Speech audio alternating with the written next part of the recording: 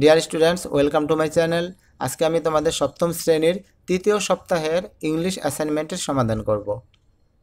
প্রিয় শিক্ষার্থী, এই অ্যাসাইনমেন্টে নির্ভুলভাবে উত্তর করার চেষ্টা করেছি আমি। এটি একটি নমুনা উত্তর মাত্র। তোমরা ইচ্ছে করলে এই উত্তর নিতে পারো অথবা নিজের মতো করে বই থেকে উত্তর বের করে নিয়ে অ্যাসাইনমেন্ট তৈরি করতে পারো। অ্যাসাইনমেন্ট তৈরি করার আগে অ্যাসাইনমেন্টের কভার পেজ কীরকম হবে দেখে নাও। অ্যাসাইনমেন্টের কভার পেজের উপরে লিখবে assignment and assessment criteria on the basis of revised syllabus due to covid nineteen twenty twenty এরপর লিখবে assignment and assessment criteria two এরপর টাইটেল অফ দ্য অ্যাসাইনমেন্ট অংশে লিখবে a day in Zisan's life travelling by train one এবং travelling by train two এর পরের অংশ school students name subject class section roll number, submission date, এটা তোমরা নিজেদের মতো করে পূরণ করে ফেলবে। এবার চলো অ্যাসাইনমেন্টের প্রশ্নটি দেখে আসি। তোমাদের অ্যাসাইনমেন্টের unit and title of the lesson অংশে রয়েছে unit six lesson lesson one, R day in Zisan's life. Lesson ফোরে রয়েছে ট্রাভেলিং বাই ট্রেন ওয়ান এবং লেসন ফাইভে রয়েছে ট্রাভেলিং বাই ট্রেন টু। এরপর অ্যাসাইনমেন্ট টাস্ক বা অ্যাসাইনমেন্ট অংশে রয়েছে read the lesson one on a day in Zisan's life page নং ফিফটি ফোর তোমাদের টেক্সট বইয়ের চুয়ান্ন নম্বর পৃষ্ঠায় a day in Zisan's life এই লেসনটি পড়ো and make a daily routine accordingly for your own এবং একইভাবে তোমার নিজের জন্য একটি ডেইলি রুটিন তৈরি করো। Now try to follow your routine completely সম্পূর্ণভাবে এই রুটিনটি ফলো করার চেষ্টা করো for the next three days পরের তিন দিন উইদাউট এনি গ্যাপ কোনো রকম বিরতি ছাড়া। After three days write on your note sheet or exercise book তিন দিন পরে তোমার নোটশিট অথবা তোমার অনুশীলন খাতায় লিখো what you have really done for this three days সত্যি সত্যি তিন দিন তুমি কি করেছ?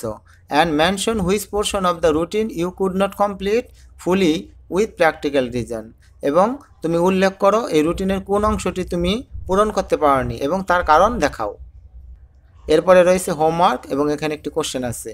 Did you have any experience on a journey by train তোমার কি কখনো ট্রেন ভ্রমণের অভিজ্ঞতা হয়েছে? ইফ ইয়েস যদি হয় হাউ ওয়াজ ইট সেটি কেমন ছিল? Write five or six sentences on it পাঁচটি থেকে ছয়টি বাক্যে সেটা প্রকাশ করো। অথবা ইফ নো যদি না হয় মানে ট্রেন ভ্রমণের অভিজ্ঞতা না হয় which journey did you have and how was it তাহলে কী ধরনের ভ্রমণ তুমি করেছ এবং সেটি কেমন ছিল?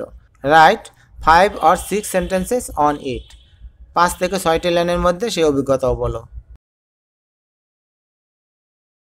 তোমাদের অ্যাসাইনমেন্টের প্রশ্ন ছিল, যেহেতু তোমাকে একটা ডেইলি রুটিন তৈরি করতে বলেছে, তোমার মতো করে তাহলে আমি এখানে একটি ডেইলি রুটিন তৈরি করেছি। তোমরা এই রুটিন ফলো করতে পারো অথবা অন্য যে কোনোভাবে রুটিন সাজিয়ে নিতে পারো। তোমাদের এই অ্যাসাইনমেন্টের মাই ডেইলি রুটিন অংশটি আমি পড়ে দিচ্ছি। সিক্স এ এম সকাল ছয়টা, ঘুম থেকে ওঠা। Six thirty AM to seven AM exercise সাড়ে ছয়টা থেকে সাতটা পর্যন্ত ব্যায়াম। সেভেন এম ব্রেকফাস্ট সাতটার সময় নাস্তা গ্রহণ। Seven thirty AM to eight thirty AM study সাড়ে সাতটা থেকে সাড়ে আটটা পর্যন্ত পড়াশোনা করা। Nine A M to three P M school time নয়টা থেকে তিনটা পর্যন্ত school time three P M to four P M lunch and rest তিনটা থেকে চারটার মধ্যে দুপুরের খাওয়া এবং বিশ্রাম। Four P M to five P M চারটা থেকে পাঁচটা পর্যন্ত বন্ধুদের সাথে খেলাধুলা করা play with friends five P M to nine P M পাঁচটা থেকে নয়টা পর্যন্ত প্রেয়ার অ্যান্ড স্টাডি অর্থাৎ পাঁচটা থেকে নয়টা পর্যন্ত নামাজ বা অন্যান্য ধর্মীয় প্রার্থনা করা এবং পড়াশোনা করা। নাইন পি এম রাত নয়টায় সাপার মানে রাতের খাবার খাওয়া। Nine thirty P M to ten thirty P M রাত সাড়ে নয়টা থেকে রাত সাড়ে দশটা পর্যন্ত ওয়াশিং টিভি টিভি দেখা। এবং সবার শেষে টেন থার্টি পি এম সাড়ে দশটায় বেড টাইম মানে ঘুমাতে যাওয়া। এটা একটা সাধারণ রুটিন তোমরা অন্যভাবেও রুটিনকে সাজাতে পারো।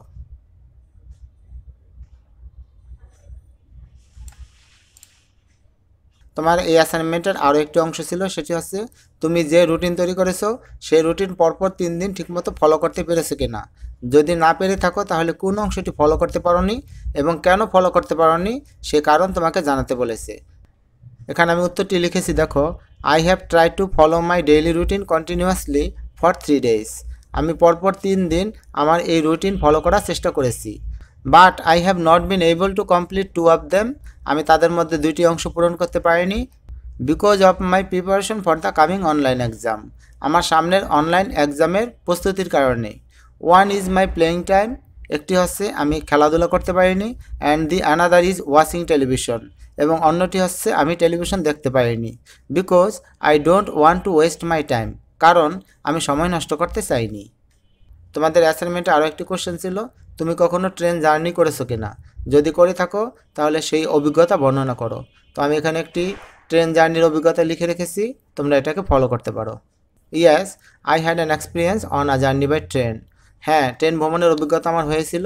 লাস্ট ইয়ার গত বছর I made a train journey from Dhaka to Chittagong গত বছর ঢাকা থেকে চট্টগ্রামে আমি ট্রেনে ভ্রমণ করেছি। My father was with me আমার বাবা আমার সাথে ছিল। We got in to the train in time আমরা ঠিক সময় ট্রেনে উঠলাম। আফটার আ ফিউ মিনিটস কয়েক মিনিট পরে the guard blew the whistle guard বাঁশি বাজালো and the train began to move on train চলতে শুরু করল। I kept looking outside through the window আমি জানালা দিয়ে বাইরে তাকিয়ে থাকলাম। Trees and houses seem to run behind গাছপালা এবং ঘরবাড়ি মনে হচ্ছিল পিছন দিকে যাচ্ছে। I enjoyed the natural beauty of the countryside আমি গ্রামের প্রাকৃতিক দৃশ্য উপভোগ করতে লাগলাম। We bought boiled eggs bananas magazines etcetera from the hawkers আমরা হকারের কাছ থেকে সিদ্ধ ডিম, কলা এবং ম্যাগাজিন কিনলাম। I had a nice train journey on the way to Chittagong Chittagong যাওয়ার পথে আমার জার্নিটা ছিল খুবই আনন্দদায়ক। I will never forget it আমি কখনো এটি ভুলব না। ডিয়ার স্টুডেন্টস এত অল্প কথায় ট্রেন জার্নির অভিজ্ঞতা বর্ণনা করা সম্ভব নয়। কিন্তু তোমাদের অ্যাসাইনমেন্টে আছে, তোমার এই ট্রেন জার্নির অভিজ্ঞতা পাঁচ থেকে ছয়টি সেন্টেন্সের মধ্যেই লিখতে হবে। তাই এত ছোট হয়েছে। তো ডিয়ার স্টুডেন্টস এই ছিল তোমাদের আজকে ক্লাস সেভেনের তৃতীয় অধ্যায়ের ইংলিশ অ্যাসাইনমেন্টের সমাধান। ভিডিওটি যদি ভালো লাগে এবং তোমার সামান্য উপকারে আসে, তাহলে পরের অ্যাসাইনমেন্টের উত্তরগুলো পাওয়ার জন্য অবশ্যই আমার চ্যানেলটি সাবস্ক্রাইব করে সাথে থাকো। বন্ধুদের সাথে শেয়ার করতে পারো। আর যদি কোনো প্রবলেম হয়, তাহলে অবশ্যই কমেন্ট করে জানাও এবং যাওয়ার আগে অবশ্যই একটি লাইক দিয়ে যাবে।